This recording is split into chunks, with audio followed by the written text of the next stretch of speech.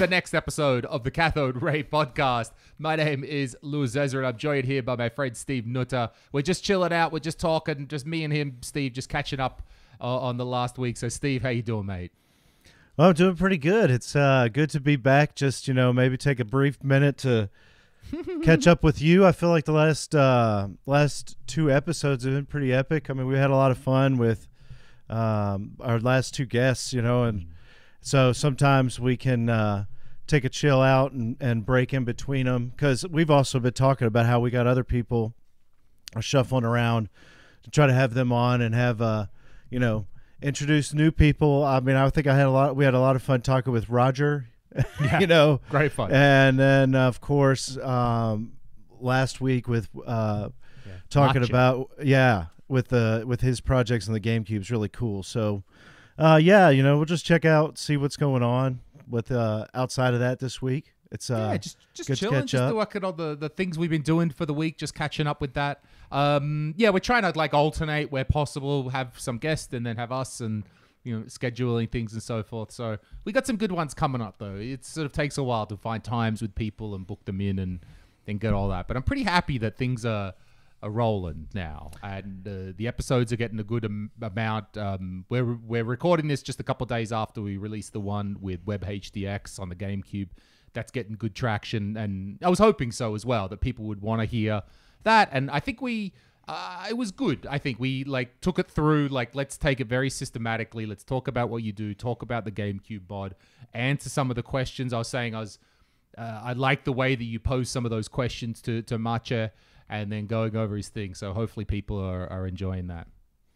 yeah, hopefully people are enjoying you know that and, and getting kind of um, you know just an opportunity to hear more about things from these creators. And I had to laugh because we had we had a great conversation um, about how he had specifically designed the mod with a certain intended you know wire length even in mind and how important that was.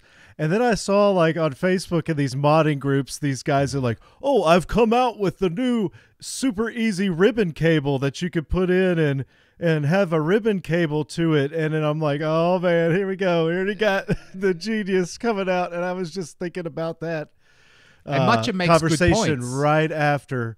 Uh, like hearing that, how like somebody, yeah, and just a, and I was like, this is exactly what he's talking about. Somebody's going to do this, they're going to have trouble because the ribbon cable's too long, and they're going to go brother matcha. So, uh, anyway, that was uh that was a fun like bring the whole thing full circle from the interview. Uh, but yeah, it was great to get in there, get deep with him, with him, um, and I'm excited too to see how much stuff he actually has coming that's not out. You know, Yeah, it's really cool, man. There's uh, you with this uh, sort of uh, energy that we've got around the GameCube right now. I've got my two. I've got my PAL and my NTSC GameCube sitting right there, ready to swap between them because one does S video and the other one does RGB because I don't I don't have the component cables. So I need both of them in my setup, and it. It also turns out that my PAL GameCube is delivering me really shitty composite, and I don't know why. Uh, maybe someone in the comments can know. Is it someone tried to tell me it's a cable issue that the composite is different between NTS and NTSC and PAL? I'm like, oh, okay. Uh, or is it sometimes consoles can do that for whatever random degradation reason over time that some one of the video outputs can be not as good as the other one. So I don't know yet. Is it my PAL cube? Is it something I did? God knows. So I've got both of them ready to go. And there's just not enough homebrew on the GameCube. One of my favorite GameCubes. I ironically, if I'm going to play Quake, I play it either on the PC, because of course we're sitting here on the PC, but there is a, a Quake port to the GameCube, and it's great. Like it's just a perfect normal source port. You can play it with dual thumbsticks, and it works just fine. So often, a lot of the time, I find myself just sitting down playing Quake on on the GameCube. So, and I would love to see even little things like there's no Doom on the GameCube, or there's no, you know, the real staples that you usually find on every homebrew platform. And do I really need another place I play Doom? Not really, but it does make a comment on uh, how common homebrew is on the GameCube, and right now not so much. So I'm hoping more happens. Yeah, that would that would be really cool. I, I think that uh, another example would be like the Dreamcast has a great kind of homebrew scene where you actually have two two people that are like dedicated to bringing out titles, you know, new on there that are coming out that are just independent, re- re- you know, releases, and then um, so it would be great to see that kind of resurgence within the GameCube because uh, it's a it's a great console. You can always go back to the GameCube, uh, any era. It doesn't really suffer from a. I don't think there's a lot of like graphical issues from that time period where if you can get it to look right and set up right on either a flat screen or really a CRT, uh, then you you know mostly a CRT, but it looks good compared to like if you tried to go and show people the N64 or something. You know, it's going to look nasty kind of, but the newer graphics they they hold up in, well to this point. So I think they hold up real well. And part of the when I was making this uh, video that I made last weekend about the LG uh, retro CRT that I had, I was sort of just poking around here. What have I got that's composite? And I pulled out the MiSTer and I, I hooked up you know some Mike Simone's adapters and I you know it's fine and we got it going. And I didn't couldn't find anything else that was composite hanging around here. I've got a PAL Super Nintendo. I thought, oh, okay, I'll hook that up. And then it, it dawned on me, okay, I've got these two GameCubes sitting here. The PAL composite didn't work well. But then when I hooked up my NTSC, the Spice Orange one you could see there, when I put the composite cable on that, oh, uh, sorry, yeah, yeah, composite. When I put that cable on that, oh my God, it just looked so good. And it, it, for me, it was nicely smoothing out the 3D games of that era. We know they're a little rough. We know the polygons are a little bit uh, simplistic. Even GameCube, N64, very much so. But but GameCube maybe, as you were sort of alluding to, it's on that edge of where the graphics are, are very good, and the composite for me, especially if I sit meter and a half back at something like that, when I'm usually sitting, my, maybe my 42 year old eyesight makes a factor in that as well. That I, I was really liking the the composite video. It really smoothed it out just to the perfect amount. So it is that nice, nice in between generation.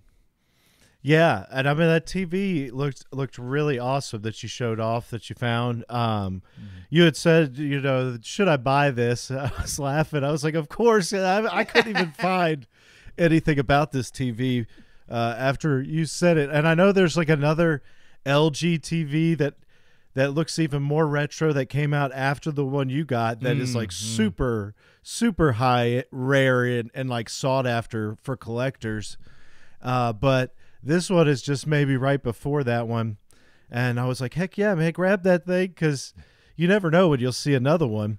Oh yeah. And then I and then I watched your video on it, and I was um, I was blown away really by how just the set had great uh, you know geometry pretty much like right out of the box. It looked like it was even set to a good aspect ratio.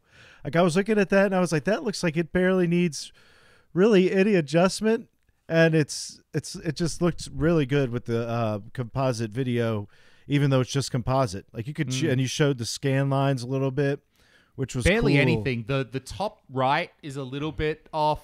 Like yeah, you could play with the corner a little bit, but it's one of those ones that as soon as you take away the grid, you never. I mean, I've got some deflection yokes that are just terrible. You're watching things and you could just see the the wavy lines in video, but as soon as you take away the grid, you would never notice that thing, and it was so clean on the inside. It was pretty filthy on the outside. I had to give it a good old rub down and with some household cleaning products.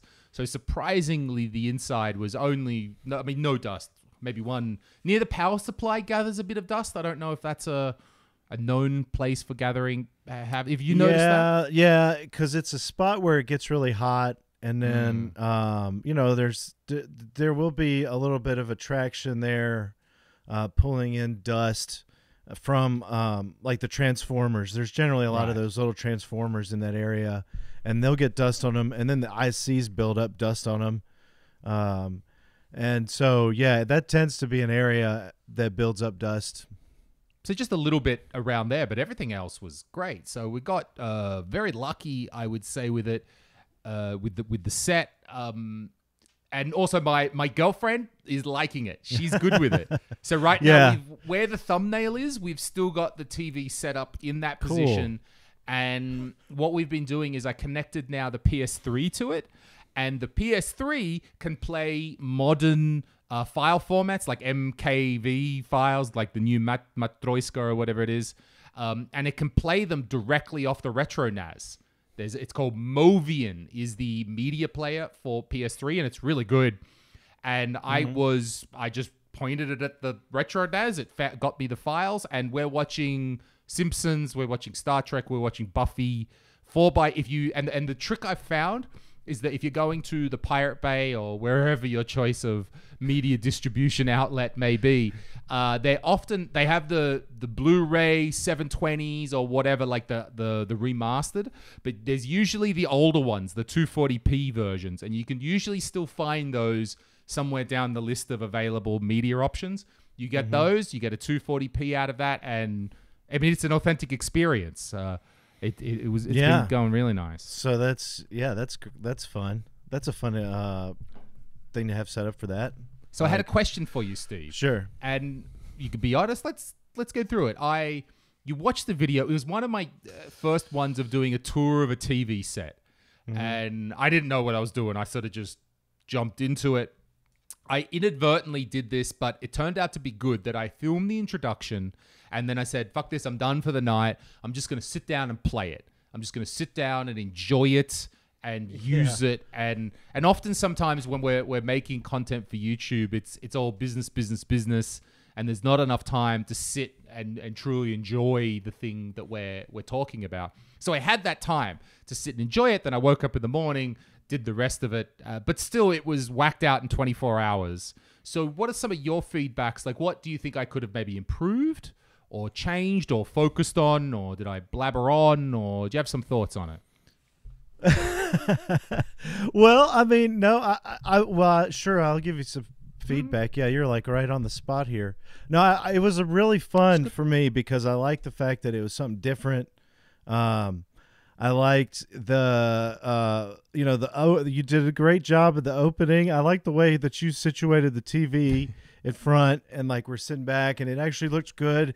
And um, that's something different, you know, than than most people who you know work around CRT. So I really liked that entrance that you did your spin on it, and I feel like um, it's hard for me to say nowadays. It's so much harder for me to have time to watch a longer video that's on about a tube. And so I like I used time yesterday to try to catch up on a lot of these videos uh, that have come out recently uh, about tubes, and um, some of them were a little bit longer. And I mean, it's all great. You're getting more information out there. It's just I feel like um, I do like your videos that are in that um, you know 12 to 15 minute range at the most on something like this. I thought it was cool too how you did find something new about the TV, where um, you're talking about you know the uh, the RGB Oh yeah. available input there. So anytime that you're adding like more stuff than like expected, right? Because we and I hadn't talked about that video, and uh, that's a lot that you got in there in surprisingly a short amount of time um, for how much you got done on it. So, um, I mean, that, that's really kind of like what I thought was great was how you just had, you know, anytime you add something different, and that's what I try to like feel like even if you're making a good video at a certain length and then like what what can you have in there that's maybe unexpected? Okay. and like with this one it was like that whole behind the scenes of how it, you know the difference between it being out of this region for me i can't see any of those things and the SECAM difference and also of course that rgb input. I thought that was really cool. So um i would uh try to if you're you know that's what i try to think about with my stuff now is like how can i make maybe because a lot of times i'll come across something that i've a monitor i've covered before but how can i make this one different right? And so i think any time that you come up with an original idea like that it's really good and i'm glad to see that video really did real well for you.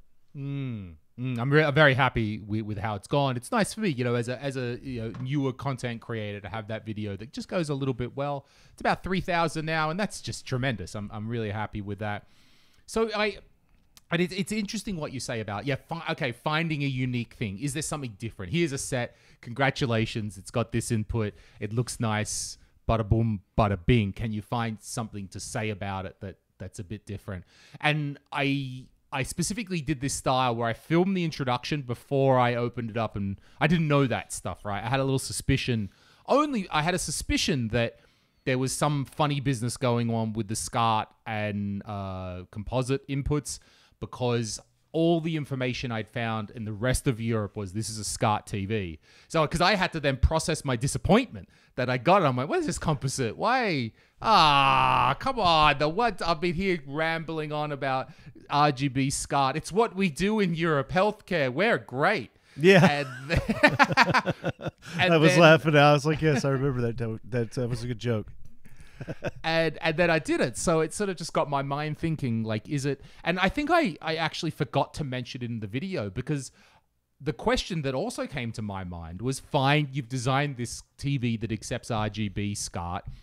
Uh, why didn't the LG engineers just design composite and SCART at the same time? Apparently, it was easier for them to just resolder a composite head on rather than just just make a TV that has both inputs, and then you wouldn't even need to change the model number to go to a different market. So this adds, and there's probably some like obscure business decision. Oh, we had more composite plugs left over in the factory, and so we did some shit like that, right? Or some weird oversight that meant it didn't get dual inputs. Like, why didn't you just add composite in in the first place and save yourself retooling this this thing? And it would be love interesting to know. Yeah, that's a good question. It's like that's but that's specifically that's the way so many of these. That's why there's so many different model numbers on these mm-hmm. CRTs, and you'll come and open them, and they'll have all these big, just open areas of circuit board where parts could be populated, and it, it- whether the parts parts are populated or not depends on what region it's in, and mm-hmm. also the model whether it has some extra features or it might have something additional inside of it, mm-hmm. and a selling up feature. But it's you know, this one is kind of like a weird anomaly because it's a rare TV. It was a rare design. It's not, Sure. they didn't release a huge number of these. And then, like you said, it winds up being just in this composite only format uh, over in, and you know, a market where you're surprising that this style of TV wasn't like tried to be pushed in more of Western markets, you know, as like some kind of like culture. Th- it's just weird. So, I, I don't know. It, it could have been like one thing where it's like, well, it's just cheaper to do it, finish it, finish off this run like this. Yeah, Maybe they that- had like a grand idea where they were going to sell a lot of these, and then they got the market research back, and it's like, no, you're actually at the end of the CRT life cycle, and you just need to cut these loose, the whatever thousands that are made, and they just say, screw it, let's just get them out of here, and uh, who knows? It's it's You really could have just put one of those SCART to composite adapters, those cheap right, things, or just right? even a SCART input that could have done, you know, So they've determined that it was cheaper or better or something to redo the back panel rather than just throw a plug in. Okay, we're selling them in Russia. Do the same thing, or we're selling them in some other market that needs composite. Do the same model and just throw in the SCART adapter as well. That wasn't, you know, they actually had to and you can see that it's really just the top plug. I, I I'm quite sure that once I clean out those solder points, a SCART plug is just gonna drop yeah, straight in to that. Uh, yeah, we'd love to hear the backstory. Uh, it just it yeah, right. Like, how did this actually get drawn How up did on this a? get to that? I've understood with if, a pitch meeting. Like I've had the one or two people from Western Europe, so guys in, in Germany, in Netherlands, countries like that, say that they see those TVs fairly commonly. Not all around the place, but they're also not like they see them around. Which Okay. means that that probably it seems to be their major market was Western Europe. Some in America, we know that some were. You did you find any for sale on American No, eBay I have or not. anything like no, this? uh-uh. that's the thing. I couldn't find a Mm. single thing, and then I couldn't find them. Uh, when I was watching your video, you know, it did say 50 hertz too, so I know your set's not. You know, that's that's whatever PAL region, and Mm. so yeah, it's not. Um, it's not one that I actually found over here at all. I could only find uh, a couple people. Someone else had done a video on it maybe a year ago. Like they had right, one. just sort of yeah, outside. Sure I have another philosophical question for you, Steve, about this monitor. Just to again, if we're like these questions that it poses Mm-hmm. about the TV industry in the year 2000. Um, now, when we look back now, 22 years later, we're like, this TV looks cool as shit, right? It fits. It we like the styling. The styling is held up, and uh, we like that it's a reasonably modern tube, but it's got this sort of cool styling. However, when I think back to that age, and it was the year 2000, we're like, oh my God, the flat screens are coming. The big screens are on the way out. This is old technology. And I know we, we like to. You're right. Back then, we looked at it like it was old. It was like because we were like, dude, this was cool when Apple introduced this. You know, this was cool and sexy like six years ago. And then everybody, like you said, was jumping to like black flat screens, and you're like, whoa, that looks yeah. great, right? So, did people think at the time that this style was cool, or was it just like, oh, what a cheap Apple ripoff? Apple did this six years ago. I don't know. I'd love to to get a real because I have a I, I just suspect that we might have thought that as kitsch or cheap or sort of a no namey brand version Well- of what Nintendo or It's Yeah, so it's I an don't know. What do you interesting think? thing to think about because also this they I mean there's there's uh different colors of it. There's a like purplish one Mm-hmm. and then there's a green one too uh, on top of the orange orangish one that you have. And um first off I'll say I think the orange one looks the best out of all of them. But it means that there were a bunch of them and it would have been funny to go in and probably go to like a TV store back in that year and you would have seen like a little section and I imagine it was trying to yeah maybe you're thinking well this is trying to like get the attention of somebody who's sending their kid off to college in a dorm room so it's like smaller looks cooler so it's it's really like a niche marketplace but again like you're saying it's going to these places where I don't know if that's actually what you know the the marketplace is doing there. As so, it's it's odd. It it feels like it might be a little bit of a kick. Try to be like if I'm a marketing guy in those years, I'm thinking that like I'm kind of an out of touch marketing executive who mm-hmm. thinks this is like oh this is going to be hot Yeah. with the kids, right? Like and if then you go kind of into an electronic flat. store right now, you can find a number of radios. I guess even CD players made by cheaper manufacturers. Now LG is not cheap. I would say it's not the top top, but they're all right. You know, so it's not a no-name brand either. But you can see a lot of right now in any electronics store. Those like they're meant to look like ye olde ones. They're meant to look like there's something from the 70s. And I just can't help but think is it the same? Would that have would that TV have come out then and gone, ah, it's just the cheap. Looks like the Jetsons. The, who wants the Jetsons anymore? I want flat screen. I want. I don't know how we. I would love to. If you've got some thoughts in the, please write it in the comments. How you think you may have seen this television It's like in when yeah, it's like when your mom tries to buy you something cool, and you're like, "Mom, this is not cool, mom," or something. Yeah, that's an interesting point to think of it at the time it came out. Because nowadays, like you said, there's all kinds of weird stuff that was completely just awful at the time, and a lot of that stuff is the rarest because there wasn't a lot of it made. Mm. And then at the same time, um, like uh, it's become the more sought after too because of the oddness to it. This might have been an idea, like you say, that they they put this idea together, they tested out for some reason in regional like like a focus group for each country, Mm. and for some reason maybe over in the Russian area it was like. Well, they're like a little bit higher, but it's like it. It's like at the America, they're like this looks like crap to like the American kids now. They all want this other trendy um, stuff because they're not into that style. So I it didn't know. go to America so much, but somehow Western Europe was okay with that. I, I don't remember a, lot of TVs Russia. like this. Even the ones that were clear and stuff, they weren't very prevalent.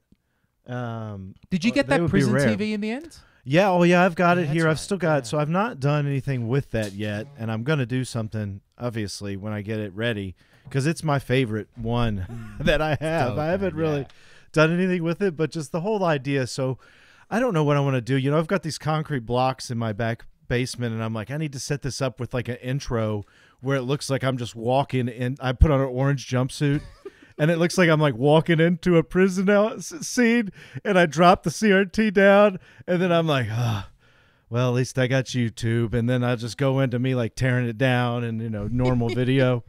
So uh, cool, I want to, Yeah, yeah, yeah. I want to do something like that with it, but I've, I've I've yet to have the time to really get into that thing. But that's one, um, and then of course I've got the the clear green one. Uh, since the last couple of weeks, I did do an RGB mod on one of the Right. small Sony uh, sets that I had, and it came out really good. Um, the the set is it's ridiculous. It has no no like good options for geometry in it. Not even tilt or pin. It's just like vertical and horizontal Hmm. stretching and moving pretty much on this particular set. And so I'm gonna have to open it back up and try to move the yoke around. But I just had like spare parts here, and I followed the guide on uh, Andy's website, Okay, yeah. and it Was worked it just out. connecting to the jungle chip? Um, it was to connecting to points on the board that came from the jungle chip, and the jungle Hmm. chip actually, um, surprisingly enough, I, I picked the wrong point on one of them, so I had some trouble to begin with when after I did it. But we figured out that I had soldered to the wrong point on the board, and it just didn't show any any signal at all. The hardest part was this particular jungle chip had the RGB uh, n- right next to each other, and they were all on a ground loop together on the chip. So Hmm. I had to take a uh, razor blade, and I had to actually cut the traces in between the chip on there, so that the uh, so that they wouldn't be grounding. Uh, so that wouldn't be. Then I was injecting according to this guide, um, and actually, um, if you give me a second, we could pull up that guide and just pull up, and I'll show you what I had. Uh, let's see over here. So the three, as, as it was existing, the three grounds, because usually there's a ground for red, a ground for green, and a ground for blue, and they were connected together, and that was Yeah, let's producing get a in bad here. grounding or bad interference. No, uh, for my problem was because I had connected to a wrong point on here. Oh, okay. Yeah. But yeah, um, here let's do this. Let's do Yeah. a share screen real quick. And so this was the actual. This is Andy's website, and this was the model TV that I had got. This is the one I had bought with the prison TV in in Texas, Mm. and um, I I think I paid seventy five bucks for it, and it came with a remote, worked perfectly, uh, pretty good shape. Anyway, I got the circuit board out. So here's what I'm talking about. This is the actual. Here's the actual circuit board diagram that I'm hovering over if you're watching, but it shows the chip, the jungle chip, and then pay uh number 15 is a blanking is the blanking signal Right. and sure. then 16 17 and 18 see how they have all come down here uh, and they're all on this ground lo- like line together well that all translate in reality to them just being on the same uh, connection point here where there's just you know they're grounded together over to this point Oh, so Okay. because that when they designed this TV, they're like, this is not RGB. All they did was ground red, green, and blue. Is that what you're saying? well this has something to do also with a, uh, tuning the signal so that it won't uh, be too bright or something even for just the osd that it's normally using. Because that's what it's using in a normal set for rgb it's using your osd you know that's what it's the op- the actual menu. That's why you're able to do rgb in those sets Hmm. is that's all the information being translated. Anyway you got to cut the hardest part was actually coming in here and cutting the traces in between those points right there with a razor blade which again you see how it says cut traces right here? Yeah. and that's the two lines you have to cut the trace. And then you remove this one and it totally isolates that whole area anyway by removing that resistor. Um, so i mean you just do really what it says here. Uh, and the thankfully this includes like the muxing and everything so i get the uh, board up. But i had an extra SCART adapter and so i just followed the pin out where you go from your red, green, and blue, which I'll go down here and show you how it's connected. Like, see that blue, green, and yellow right there Yep. in that picture? Mhm, That's the red, green, and blue. Let me see what the others are.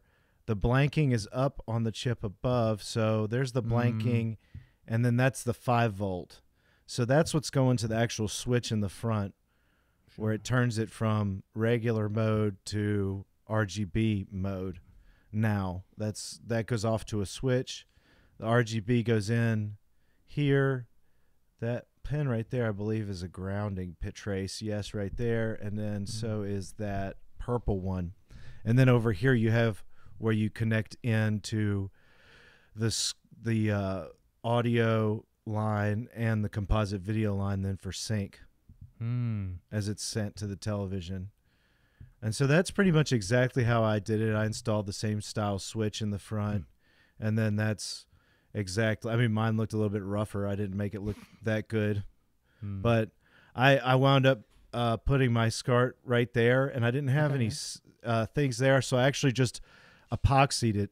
I cut out Yeah. a, I cut out a spot right there with my Dremel, and then I epoxied it in place. And I'll eventually do a video on it because it was, it was. I mean, it came out cool, fun little project. It didn't cost anything extra, um, but and all the muxing stuff you sort of just did in the cables. You didn't put an extra, make your own board for it. well, that's part of. So you put a resistor here too. oh yeah, yeah, Okay, yeah, yeah. so that's like putting that's that's in the switch. Hmm. So that's part of how the muxing works. I know is like it goes normal mode, and then, you know, you're sending the five volt signal to the blank, you know, switching that blanking line together, and engaging it. So I don't really understand it as much as the other way. It's kind of interesting, uh, but I had enjoyed it because I, like I said, the other ones I had done, there wasn't um, a guide like this, and I did have uh, the only thing you'd really get a guide for was where to inject you where the RGB is, and then you'd get a guide on how to build out this. Um, and so if you did that right, that's where your signal is being tuned properly. Like you come in Hmm. and like this is the green, right? It comes into this SCART adapter where you're going to put your green signal into it, but Mhm. you're connecting, you're you're soldering in a 0.1 microfarad capacitor right there. From there, you're connected that to the green pin. At the same time, you're uh, connecting a 75 ohm resistor, okay, Mhm. into that same point, and then you're putting that together on ground, the ground loop of the uh, SCART adapter. So that's why you see this looping. These are just ground pins, so that way everything is looped together on a good ground loop. All the connections are looped together on a ground like that. And so that's just the trick to it, really, is just putting it together correctly the way it's designed. And then that attunes the signal. And if you think about it, what it's doing is it's coming in with your red, green, and blue, and then Mhm. you're uh, you're going 75 ohm resistance to ground, which is the same thing you're doing when you add a 75 ohm terminator to an RGB monitor. True. True. So- true, true. That's what you're. That's that's the process of how it it actually looks when you when you build it out together like that. Um, so it's really nice that there are these guides here, and yeah. um, once I did it right, it was working perfectly. Like what I'd done before, I did something stupid. Like I accidentally soldered this purple cable, uh, like on this point or something, or this one, and it was the, I was I didn't really check, or, and I put it on the wrong side, and so it didn't work at all, and, th- And it course, didn't damage why would you know without Andy's help? I mean, Andy's made Yeah. this amazing database here. It'd be so hard to know otherwise. Right. And he's got alternate points here. And um, so, this, the good thing about this is this is a pretty standard television. Mm. Really, really like low and low cost. It only came with consume or uh, composite and RF to begin with. And so, if you find this TV for cheap in your area, it's 13 inches, it even has a cool trap door, but it's so basic you could tell where I have another one that has an uh, an input under this door for Mhm. um, composite, but this one is just using the same form factor, and there was nothing in there but a audio jack for headphones. Sure. So it gives you a great spot to install this switch, and uh, really, it's a good it's a good project for somebody if they're wanting to get started in something like that. It So honestly doesn't seem too hard. I, the only thing that's uh, it seems what's probably is the most tricky is putting those resistors and those capacitors in line Building doing this. that, building that. And I think uh, we we spoke a little bit previously about Retro Castle from from China Ivory. So I'm still trying to exactly pick through what it is that he's created, but I believe it's a, a board that probably encapsulates a lot of that muxing stuff that you've got there. So it would have just the RGB connection on one side, SCART out on the other side and I think he's uh, made it so it's a bit more generic or a bit more can adapt to a few more different designs. So I know you want to get your hands on one of those.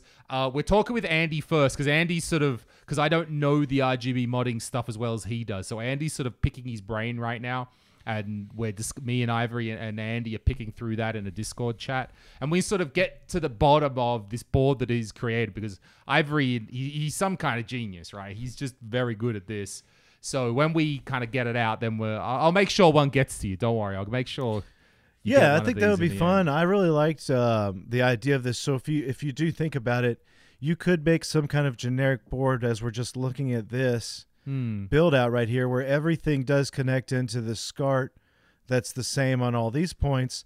And the only thing you do on the board is if you need for some reason, I mean, it's probably not going to change on a lot of these parts, but you would just, for example, add your own uh, surface mount capacitors or surface and surface mount resistors uh, in these spots. And if I think that the difference might be something up here where you have this blanking switch, if that's somehow involved in all this, you know, incorporated in this in the design of the um, board going to the SCART head, then you could leave that blank. And again, you just whatever your design then on your specific television calls for, you would just need to add those specific parts on a board as opposed to going in and finding the parts and correctly putting them together like this. And I mean, even when you do this right, it all feels nerve wracking because look at it. I mean, there's a lot of exposed um, tracing there that uh, you can get interference from, or you could easily have something crimp against it and cause a short.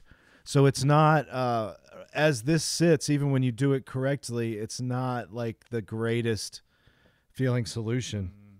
Actually, speaking of that, the the good old classic HV to to horror the the com- sync combiner sync that combines this one that we've talked about many times on the show. This is broken right now. Uh, I think it's yeah the resistor here Yeah, has broken off, and it's just because you know it waves around, right? I'm trying to keep it all together, but uh, this big chain of a kind of a long RGB snake. So, uh, and that one I can't kind of repair. Is I'd have to sort of replace that whole thing. So that's again something where excellent prototype has worked well. But that was a bit finicky. You could see how I've, I put the, the the the bits of rubber around there to shield that and that same thing. But various times these have come out and I've had to resolder them back in, and this is all sort of a bit wobbly. So my next uh, mission with this, I think, is I was thinking about what to do with this. I don't have a 3D printer, so if I had a 3D printer, I could probably just easily just make something to hold it in. Um, I think that I'm erring towards this would be a good example of how to learn how to make a PCB. Really simple. Put make it even make it through hole soldering. Make it as big as it needs to be for even an idiot like me can solder. that Get would be great. Yeah, consult because you got a lot of room there. guides. Yeah, I got a lot of guides, and I don't need a case. The, the PCB would keep it. So it's a little bit of extra work, but it's like now I've got this extra inspiration to learn how to use KiCad or, or something like that. So it's coming. It's coming. I'm glad. Yeah, that's that's what I was hoping you would say. That would be the solution. That would be great. Even like you said, and and I think that would be a cool video to even go like, look, I made this thing, and now let's take it. And I'm tired of it falling apart. Let's move it to that. See, and this is something I haven't had time with, and it's something that you're doing the same thing with. I could do on this one. So I have so many of the SCART head to BNC adapters Mhm. that you got get off like eBay generically or any of the cable manufacturers make. And what I'm talking about is the breakout cables that have BNC for red, green, blue, and then sync. And then they'll have audio cables generally. and then the other end is a female SCART head that you plug in and you plug out of a switch or a console. And the problem with them is always at the other end where the BNC adapter connects to the PVM or to your equipment.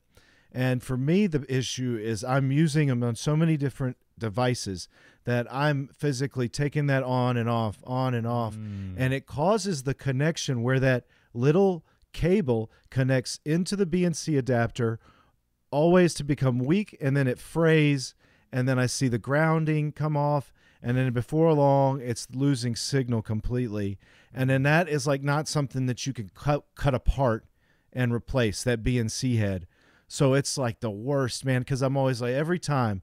So I just make my own and I have to redo this if I do it this way. So Mm. my whole thing was like why not have an actual just breakout circuit board that does one end your SCART to fem- your female SCART in Mm. circuit board other end is just a BNC of RGB and sync right and then audio and that mm-hmm. way you just connect your regular BNC heavy duty cables to each end as long as you need to and use it that way and I still to this day I cannot believe nobody's ever made just Wait, I know that exists. device I was like about that. to say I know No, that. I, it does. It's everybody just uses the cable des- design, which goes at least in America. All right, I'm gonna research this because I'm pretty. Because if there is something out there, that I've it seen needs some. to see it. But this is Well, I was about to say because and then yeah. you could do sync, uh, you know, whatever, add sync sure.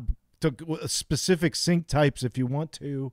Well, there's But value in making thought- it yourself. Like, because I think my adapter already exists, I'm sure, on PCBWay or something like that. But the point is to make it, Yeah. to learn it, and to, to do it.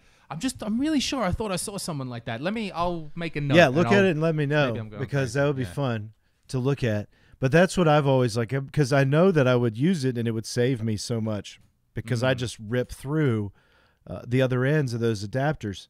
It's just they don't last. If Sure, especially yeah, but that's the difference that you were using it multiple times a day. Yeah, I'm not like a normal person. It's like the worst quality Well, for control. many reasons, but Right. Good one there. So yeah, that's kind of uh, Alright. an issue with that that one cable, and I, but I like that. Yeah, I think that's a good challenge. Maybe over the next couple of weeks, months, however long it takes, we can both try to do that. yeah, okay, And, could do um, that. Hmm. So what have you been working board. on? What have you been working on in the last week? Well, so yeah, I've got, um, I've been riding again the wave of the large CRT, the large Yep. CRT wave on YouTube. So that video uh, I put out like ten days ago, and it's still getting like five thousand views every two days. So I've got another video ready. I'm just you know waiting to put it out a day or two from now.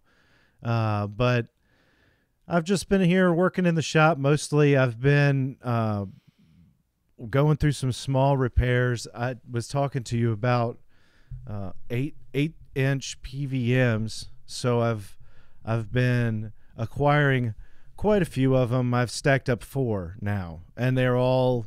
It's funny. They all have the same issues that we've just been talking about. um, and I actually have I'll screen share some stuff with you this. So we've Mhm. got I've got these four PVMs, and uh, I've been ordering them, and they've all come from the same seller on eBay for the same amount of money, like one hundred fifty five dollars shipped. And every single one of them's listed with the black and white screen problem, which you went through on your live stream, which was fun. So if anybody needs help with that, go watch that Louis's live stream for now. And uh, Absolutely. can or see how that works. Video from RGB Rob also. yeah, if you want to do that whole concise, like yeah. um, Sony bulletin repair, you can do it that way too. That's really good and lengthy Mm. and uh, detailed.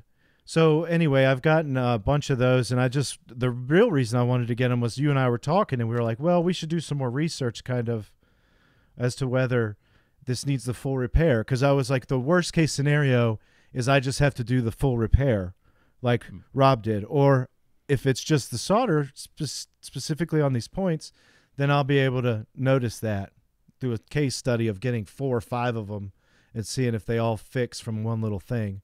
So that was the original idea. but I bought the fourth one, and the guy um, who sold them to me on eBay, finally messages me and says, "Do you do you want to keep buying these things? Because I've got a few more." And so I'm trying to like talk to him this week about getting more of them, uh, as opposed to him just individually keep selling them, and I just keep buying them Mm. because if I know how to fix them, that's a good that's a good price for me, and I could get recoup that easily, and uh, fix them, get you know good research done. So let me show you. I'll show you another thing here on uh, this file here. So first off, I got some pretty new uh, solder gear here, Oh, which yeah? you can see set up. This is my new bench stuff. I finally got this all set up. This FX951. So I got um, after that museum job, I went and reinvested in some new equipment, and I finally got this fan, so I don't have to worry about huffing. Oh, it's a, oh yeah, yeah, for the solder fume fan. Okay. So that's what that is. That's a new iron. Huh. Um, that's a, that's Cool. been really fun to mess with and uh, get to work with. How are you? Um, how are you finding the the new soldering iron? Is it just? I mean, Yeah. you had okay one before, or you've noticed? Yeah, I had the smaller Hakko that was like the hundred dollar one that you get off Amazon, and it's still good. Um, but I'm noticing that this one it just gets the temperature really quickly. Uh, the tips seem more precise. It's new, of course. The other one I've been using for five years. That's fair enough. So uh, rather than just, you know, I just wanted to go up to the next level and see how this one works. And I heard good things about this. Sure. And it's got a very broad amount of tips you can put on it to do different things, like really fine tipped surface mount work. Like I can get these really small, effective tips on it. And if I wanted to get like a circuit, like a, you know, whatever magnifying glass, um, microscope. And so anyway, that's the one. And then there's, of course, the old desoldering tool, but that's one of those uh, PVMs right there that I'm working on right now. This is Oh, what yeah, I was the calling the, Yeah. this is what I was calling That's the the BVM, isn't it? The HR no, Trinitron. no, it's just a PVM in America. Oh Yeah. wow! Because I thought Yours is there are BVMs of it. Yeah. right, my one is a BVM and says because I have uh, in my collection the 9L2 because I have all I have four Oh, have of the 9L2? BVMs and then I have a 9L2 which only says Trinitron doesn't say HR Trinitron on it but it's a PVM. Yeah. Okay. And actually, I forgot. I ordered a 9L2 also this last week, and it's supposed to be here probably today. I don't know where that is. I actually need to check shipping on that. I forgot. That was uh, that was separate from these. So I've been buying a bunch of cheap nine inch ones that have been showing up. Um, this is the one I was calling Tony Montana's PVM, but it's because it's covered in like white asbestos looking dust. We'll call it. I mean, covered in it. Um, it came from the Home Shopping Network, which is kind of funny. In America, we had Oh, it says there. Yeah, yeah, yeah, in America. So during the the um, late '90s, early 2000s, this would have been in like the broadcast booth where they're like trying to sell, God only knows what to people at home through the television, and they're broadcasting it and watching it through these uh, specific PVMs. I always think that kind of stuff's cool, like the history of them. That's cool. Home So- Shopping Network. Yeah, so Journal Broadcasting is- Group, That whatever that is. back panel is exactly the same as, as the. That's- Yeah, so okay, then there's no, the uh, true, serial. true, true. It's not.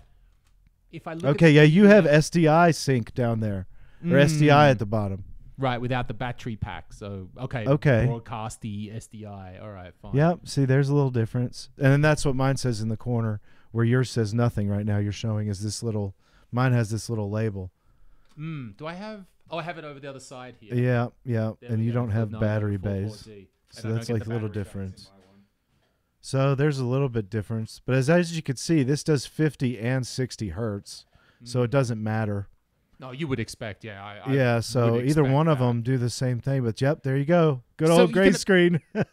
you, yeah, there it is. So you can imagine that the mm, there's not a huge difference. I mean, it would be the tube line count. What would be what would you think is the major difference now between let's say your PVM variant and my BVM variant of this? Well, that's the good thing is this. The reason I wanted these was they're the higher line, line count ones, ah, which is the 450 line count tubes, and that's mm-hmm. why yours says HR Trinitron, is back in these days they used to put that on them when they were the higher line count PVMs. Ah, okay, so like Okay.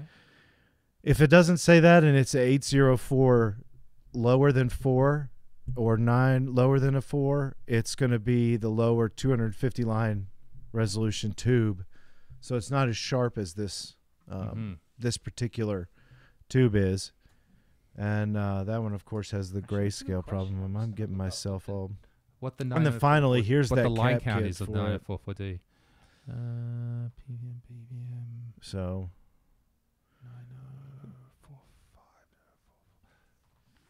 the four four and the four fives, like the one you have, is going to have the higher line count tube in it, so that's good. It means it's sharper and um, more desirable Hmm. for sure than the than the other ones. Um, it's just a little bit sharper image.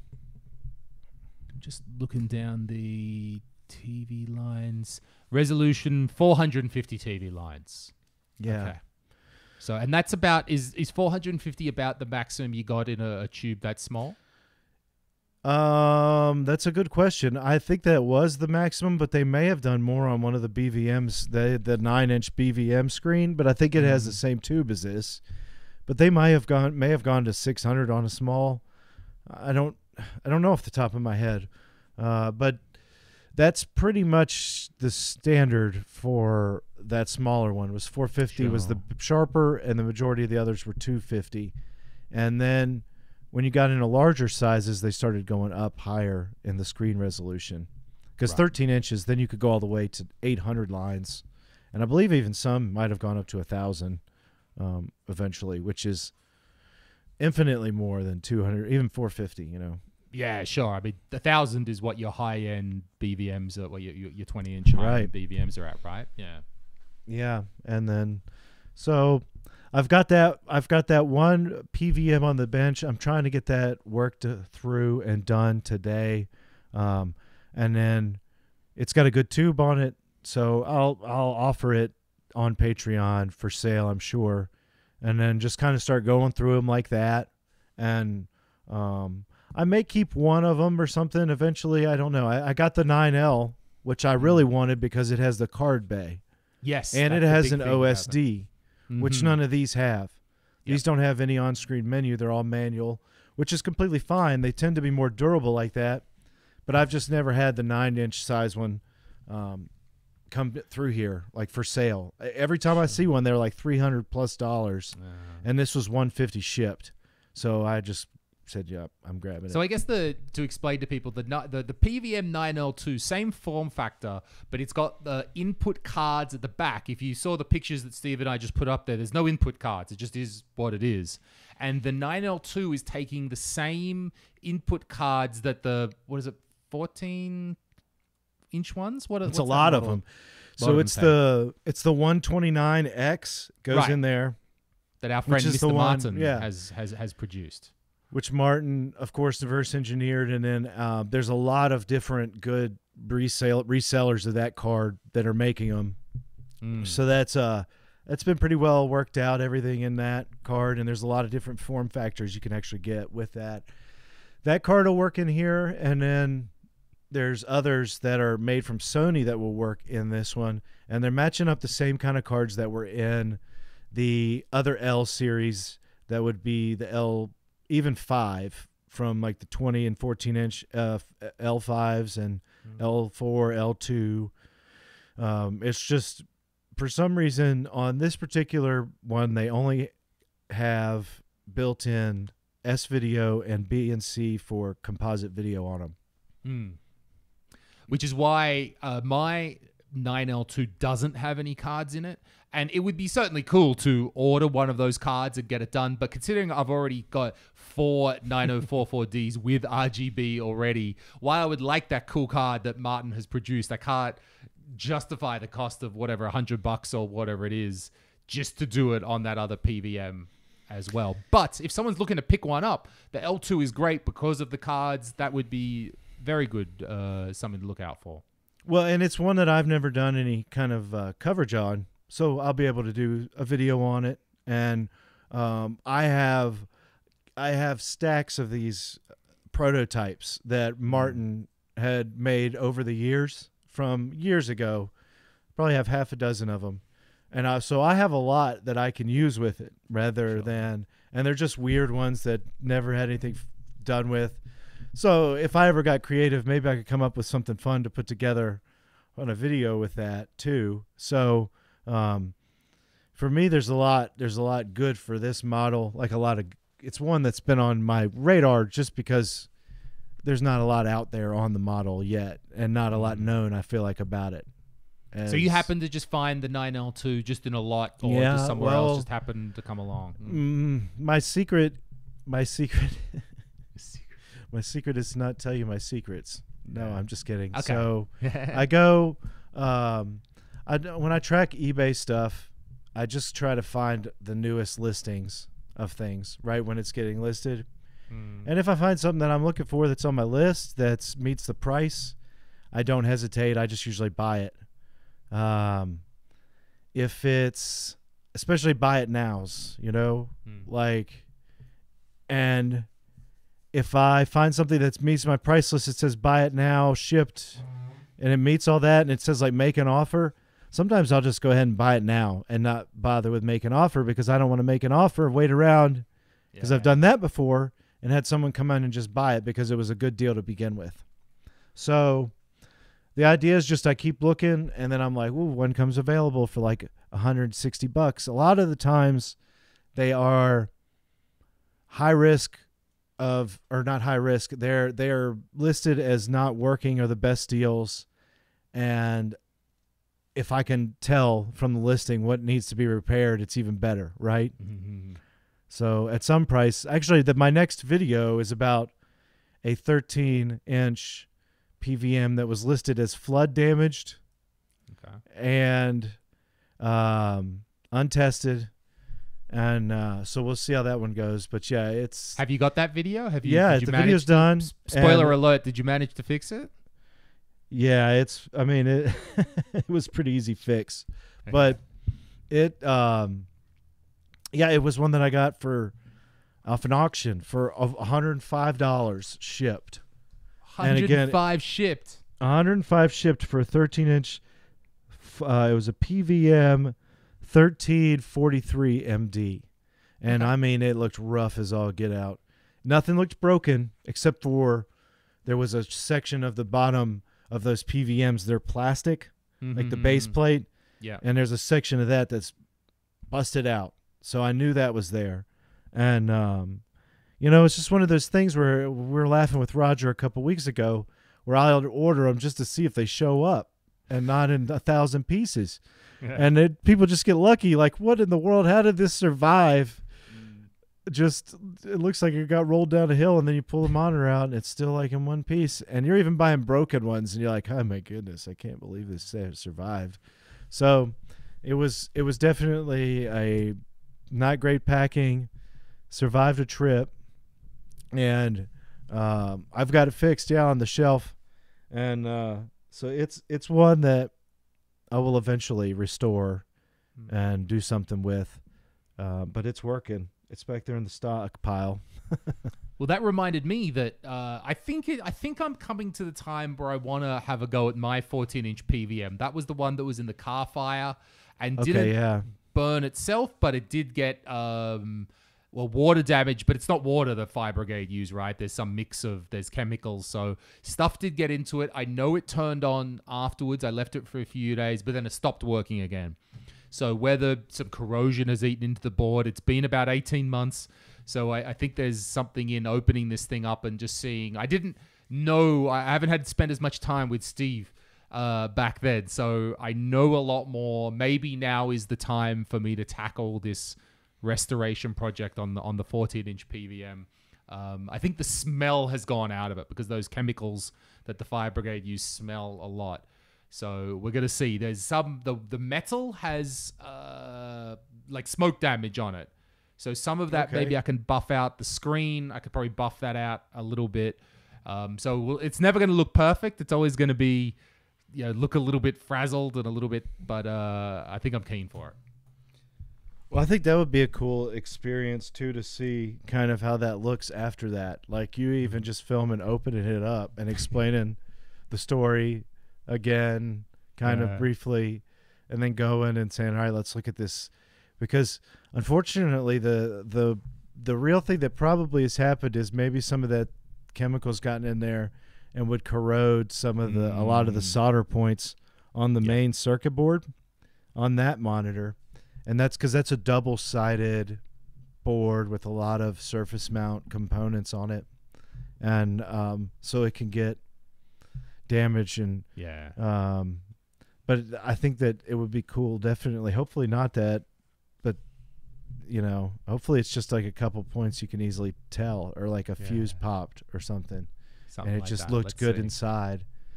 So that's that's I think that's a cool thing though. That's there you go. There's something different. Whereas Mm. just getting a 14M M series now and probably opening it up and showing people is something that's definitely probably been done. Sure. I think it's been done a few times by yourself. so No it's doubt. yeah. So it's like, but that's cool because there's a connection you can put into that story.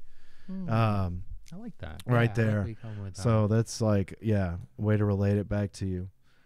let's Ah, So, what see, so uh, you've got you were working on the, the the small eight inches. Anything else you've been going Yeah, I was gonna say before we go on one more thing. I have been using the company uh, UShip in America to ship a lot more monitors lately, and I just wanted to say that if you are considering shipping bigger monitors and and look, Louis and I don't get kickbacks or anything. I'm just trying to tell you things that I've used that work Hmm. and that have worked. And I've been very happy with how things have gone with UShip. And it's not a standard like big time company experience. So I don't want you to think that uh, me telling you this like it's not like a standardized business as far as what you get when you go to a big box shipper that's all doing things within one company. UShip works a little bit differently, and then um, I can just give a little bit of an information on how it works yeah, please do. and then I'll tell about my experiences so far with it. So you go and you have to create an account on their website, but what it is is it's um, you either you you may have an item that you need shipped that's very big, that's fragile, or that's like palletized on a pallet. Uh, for us, the perfect example are these PVMs, BVMs, especially anything that's over 13 inches. It should not be shipped uh, Mm. by ground. It should you should try UShip because what you're getting with UShip is somebody's coming. Um, you you create your listing of where you have this thing, where it needs to go. There's a couple of options on there on how to pay for it, but the best that I found is UShip will give you a guide on how much to price it. And it gives you like your chances of getting it shipped are really high if you book it at this price. So for the last one I had to do this week, it was a 20 inch PVM.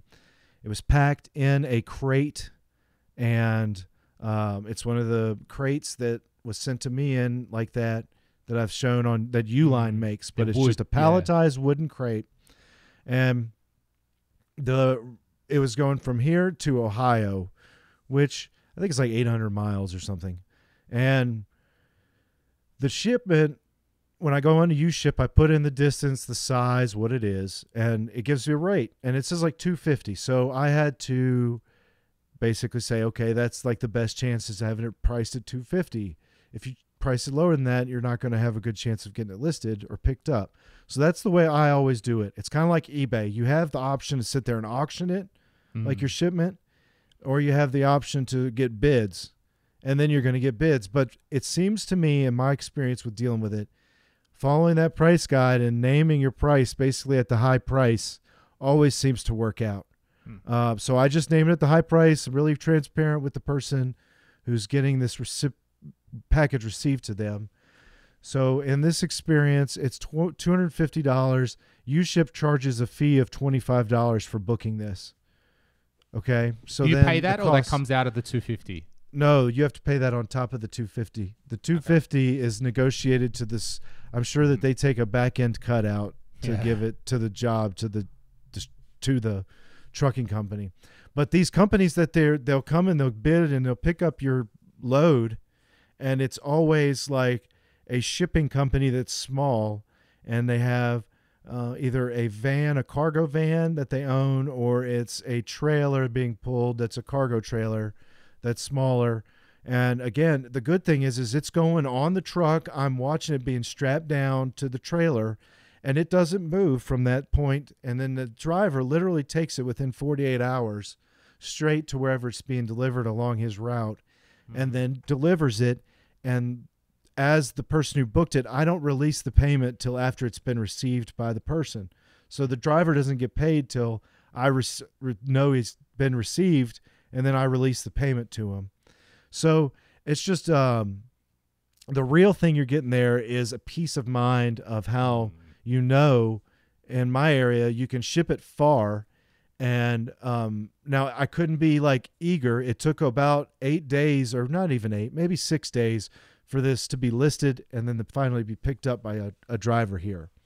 But uh, the driver that I met here gave me his information, and he's like, if you want to try and book something with us along this road, you know, you could call us and we'll tell you a rate.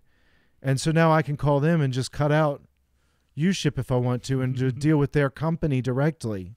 Sure. Um, but if it's just one time and you have a big shipment, uh, it's the way to go because it's such a, a high rate of not damaging a big monitor. Really, It's easy. It feels easier to pay something like two fifty, even three hundred. Okay, premium amount, fine. But to have that real, as you say, peace of mind. Like if it's three hundred from UPS, ugh, but three hundred when you know the guy. Like it's easier when you like this is the guy. This guy is getting Right. the money. That is Well- easier to to do that. I think to stomach and it. and here's the other thing about it. I'm getting comfortable with this stuff to where um, I'm going to start talking to these drivers. They'll they take furniture pieces and like electronics already, and mm. they're used to moving these high end items without you boxing them. Mm-hmm. So if you can save money on not having to pack and unpack a PVM at all, and they can still put it on their truck just as the PVM, and they offer blanket wrapping. So they just wrap it in a moving blanket, hmm. and then they move it for you in that way. That could even save you to where you're not, you know, this is going to be the same cost as it would be as sending it on a risky, uh, even perfectly packed mission, you know, over to wherever using UPS, FedEx, for example, ground shipment. It would cost less if you used U-Ship and didn't have to pack it, you know? That's a good point. So, And because there's That's- some personal responsibility from that guy, because he is your guy.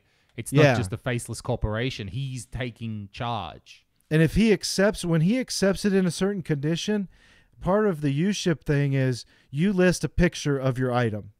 And if you list a picture of the item of a PVM, if it's shipping that thing, it doesn't look that bad to ship. Like if you're a shipper, right? You got just mm. a cube thing. And it's not it's got handles on it. You can see that in the pictures. You give the exact dimensions.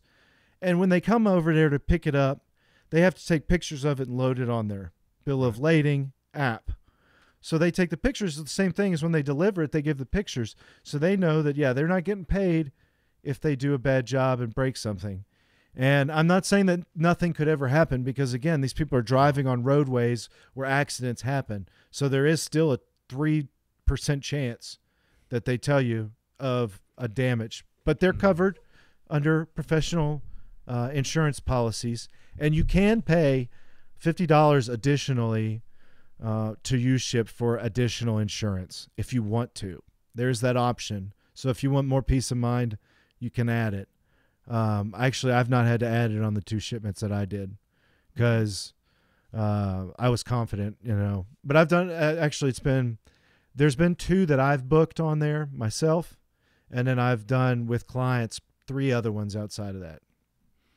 It seems pretty clear as the, the larger the monitor gets, the better it is to use something like UShip. And this also comes into the, the discussion around why you mostly work on professional level monitors and not consumer sets. One, because they're all sort of random designs. And two, you're still going to have to spend 250 bucks to ship this thing on top of the cost of that. So it, it only starts adding up and making sense for a professional level unit.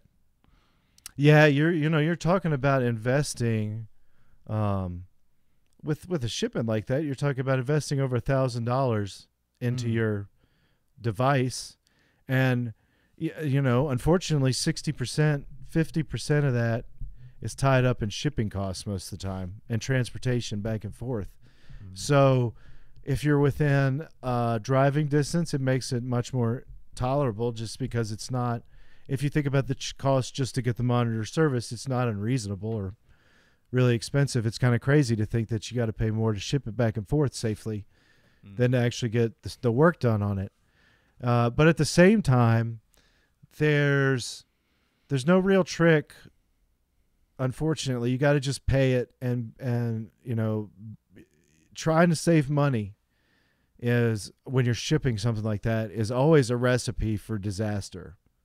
Mm. You know, if you take a shortcut, it's always gonna you're always gonna regret it in a shipping something like this. So this makes sense as the monitor gets bigger, but what about as the monitor gets smaller? So let's say soon enough you're going to be sending out these 8-inch screens and they have their price at their certain price point. What's going to be your go-to when you start shipping those? And now that's a good good point to bring up. Those are much much an eight inch or five inch is super simple to pack because you can easily you know layer up with so much bubble wrap. Like you get a roll of 150 yards of bubble wrap, and you could wrap an eight inch PVM with all of it, and then throw that in a bigger box, and it's like impossible, right, to penetrate seven inches of just bubbles every direction around the PVM. So that's the good thing.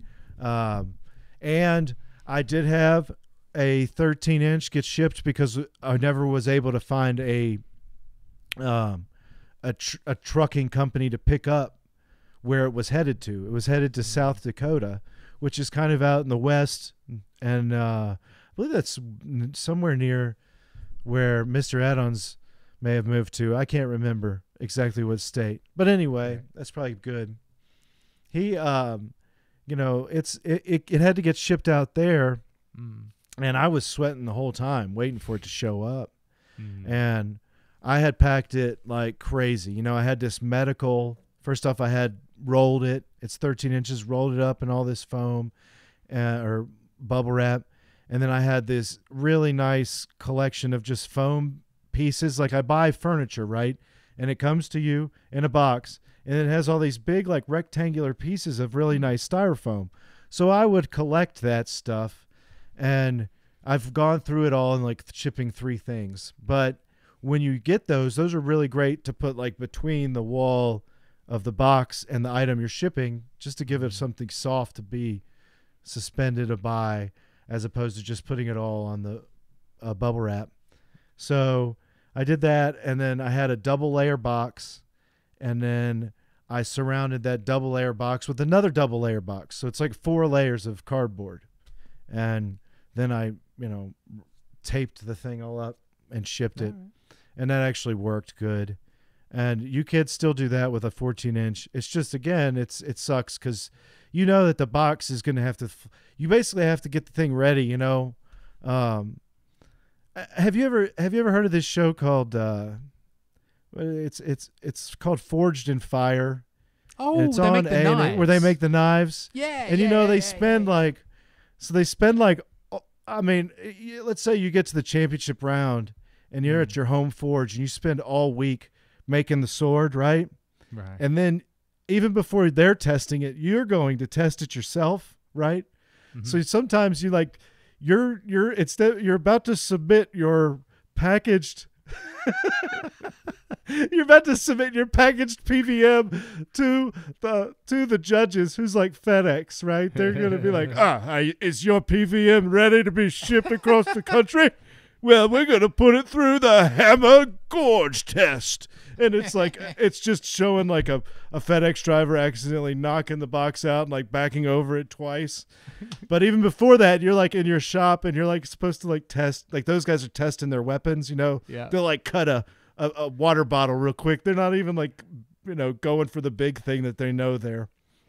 So sometimes I want to just like kick the box over and see like how it lands and see what happens. I'm like, this is this is too much. This is too much stress. So I always try to do even with 13 inch now. Mhm. I've been shipping them via U ship if if I can. So Sure. How would you? Uh, so let's say you did the, the again, but coming back to the eight inches, you're gonna wrap them up in the bubble wrap, double box, triple box, quadruple box, all the things you just said. Uh, what's an average? Is there an average shipping rate you can expect to then send that via ground or via a commercial uh, provider? yeah, I mean you're looking at probably a hundred bucks right. about maybe maybe uh, depending on how close you are you might get it a little less if you're far away you might have to pay $150 or something it's really uh it's not cheap anymore Right. It's just good to know that fuel costs the- you know your fuel costs go up. That's the things we're aiming for. So, eight inch monitor via ground, regular company, 100, 120, something like that. UShip, you're looking 200, 250. And then oh maybe well 300. yeah so uh, i mean no it depends so that Okay, was depends. All right. Because because let's the last one i did was a full 20 inch one packed on a pallet so it takes up a good amount of space Oh, in his van. It's a good yeah, size. Okay. Yeah, it's a good size job. Whereas Mm. the other stuff's smaller, and like if you're just sending like um, a 13 inch, if you're just putting the dimensions of the 13 inch monitor, put pictures of it online, somebody could probably just show up and whatever they're driving and put it in their passenger seat Yeah. and just watch it, right? If they're going to, and then just usually they'll just go and they're dropping off along the way. So I'm sure that a lot of people even consider doing that. So um, then you can go in there and you put your dimensions where it's going, and it gives you again the guided rate. So you could take that information, okay, and then you Mm. go back and you go, well, let's say how much is it going to cost me to pack this? I know it's going to no, no, no, all this packing, and then on top of that, you could go and you go to the shipping company's websites and get an estimate from their website on how much it costs. And if you have your dimensions right, you'll get an estimate within three dollars of what it actually costs. Mm-hmm. So uh, you could always know. You could say, okay, well, if I go take it to FedEx, it's going to cost me this much packed to ship, mm. or I can send it unpacked via you. You know, how much is that difference? So mm-hmm. that's that's always something. Yeah, that's a good idea of of how to market or figure out the difference between costs on there. Good man. That's good. Good good advice on how to compare. What are the options? It doesn't have to be dog shit Yeah. wrapped in newspaper, punted down the hallway. There are some reasonable options out there. It's good that you explain that. And at the same time, it's funny because people and I constantly buy them off eBay, and a lot of my repairs coming up are going to show how I bought this thing and how it showed up when it was shipped to me. It's just, um, you'll. i I don't understand. It's it's it's. There's no rhyme or reason to it. You could have an awfully packed monitor, and somehow it doesn't get damaged, and then you could have one that has been packed like amazing, and it comes and it's destroyed.